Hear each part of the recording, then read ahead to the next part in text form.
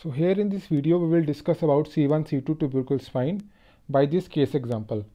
So this is a 14 year old male child presented with already diagnosed C1 C2 tubercle spine from MRI with complaints of dysphagia and inability to hold neck with intact neurological status. So basically complaint were of dysphagia and inability to hold neck.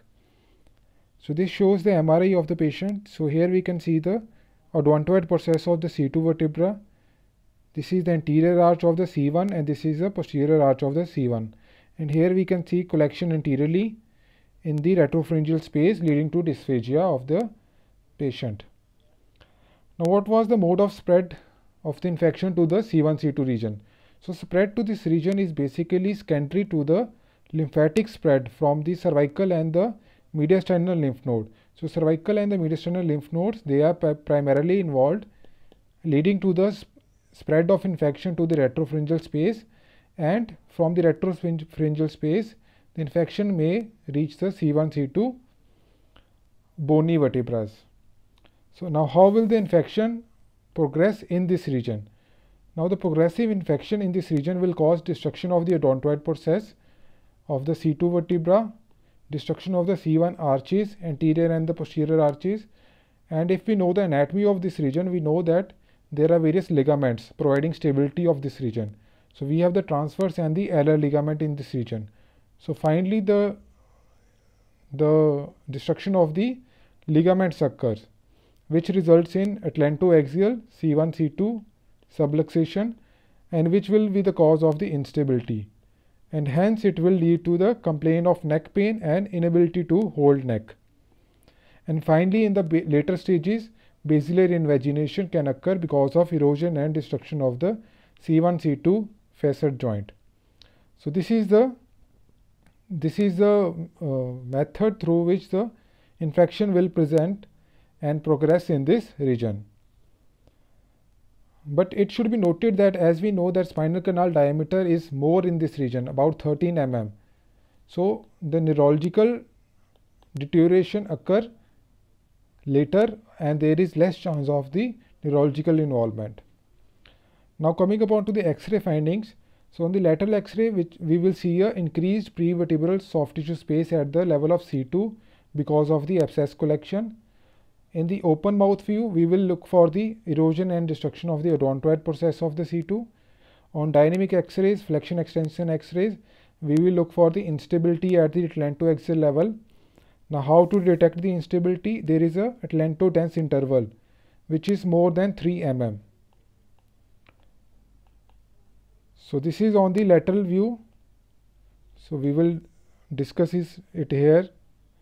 So on the lateral view we will see for the prevertebral soft tissue shadow and the atlanto dens. So this is the anterior arch of the C1 and here we have the C2. So the distance between the anterior arch of the C1 and the dens which is the odontoid process is known as atlanto-dens interval. Normally it is less than 3 mm but in these cases where there is destruction in this region this diameter is this length is more than 3 mm. This interval is more than 3 mm. Now this is the CT scan showing the destruction of the odontoid process here and also destruction of the lateral mass of the C1 vertebra. Now why was there complaint of retropharyngeal abscess? Because the TB as we know that it is an anterior disease and the abscess is formed is anterior and hence it is collected in the retropharyngeal region. Now coming to the various classification of the C1 C2 tuberculosis. So we have the various stages. We have first is the Lifeso stage. So in stage 1 there is minimal bony destruction or ligamentous destruction but there is no subluxation or dislocation. There is no atlantoaxial subluxation or dislocation in the stage 1. In stage 2 there is minimal bony and ligamentous destruction but there is reducible or irreducible atlantoaxial dislocation or subluxation. In stage 3 there is a significant amount of bony and ligamentous destruction. So in this case, we can see there is significant amount of bony and ligamentous destruction. So this case will come in the stage 3 of the Lifeso staging. Now the second staging to discuss here is the Bhagwati staging. So in stage 1 of Bhagwati staging there is merely inflammation of the bony structure of the cervico-craniovertebral uh, junction. So we have the C1 vertebra here and superior to that we have the occiput or the cranium. So this comes out to be craniovertebral junction. So there is inflammation in the stage 1 of the bony structure of the craniovertebral junction with granulation tissue formation and the bony destruction. In stage 2, there is formation of large abscess with bony changes.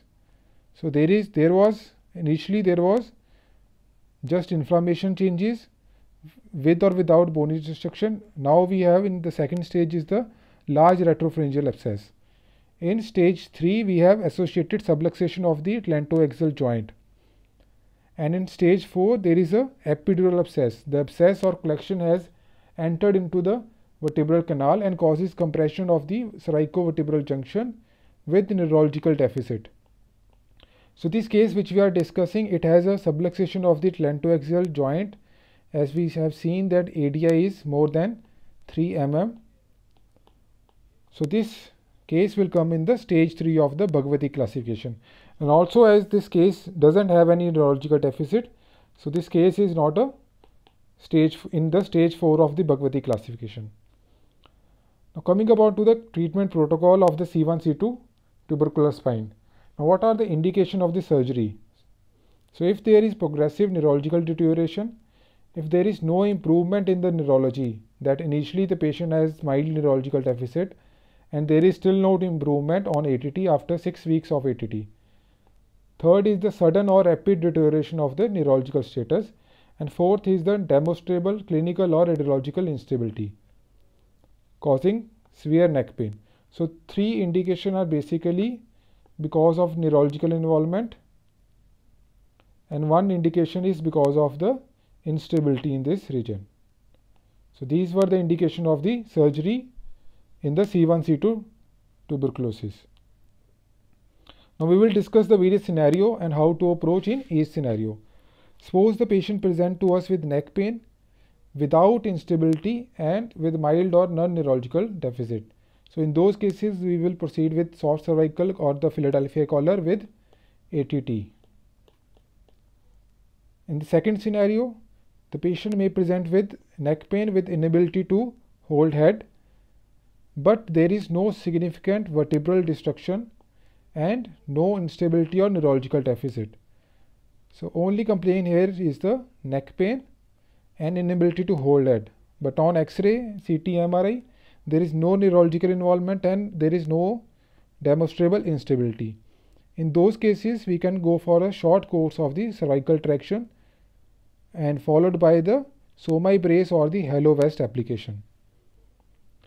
If there is associated large retropharyngeal abscess causing dysphagia and aspiratory difficulty, we will go for the aspiration or drainage of the abscess. So fourth scenario we have is the significant vertebral destruction with reducible atlantoaxial dislocation but no neurological deficit. So in these cases we can keep the patient in traction to reduce the atlantoaxial dislocation followed by fixation with immobilization with the halo vest application. Now if the patient is having, now here we can see there is no neurological deficit. Now we will discuss all the scenarios and in all these scenarios we haven't uh, got surgery. So here we have the reducible atlantoaxial dislocation with the neurological deficit. So here we need to proceed with the surgery. So we will go for the posterior instrumentation and C1 C2 fusion. Now if the patient is having irreducible atlantoaxial dislocation with neurological deficit again we will go for decompression with posterior instrumentation and C1 C2 fusion. If there is destruction of the C1 C2 lateral mass with basilar invagination with more proximal inv invagination. So we will go for the cervicomedullary decompression. So these were all the scenarios in which the patient might present to us and how we will proceed with the patient. So in this case, we, as we have discussed that there was dysphagia so retropharyngeal abscess it was aspirated by a transoral approach and there was atlantoaxial dislocation or subluxation which was reduced by traction application and finally definitive fixation was done by haloorthosis but not to forget that ATT chemotherapy is more important because at the end of the day it is still a tuberculosis disease. So that was all in the C1C2 tuberculosis.